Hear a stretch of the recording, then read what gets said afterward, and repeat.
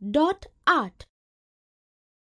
Let's complete the picture by putting the dots using the same color sketch pens as shown.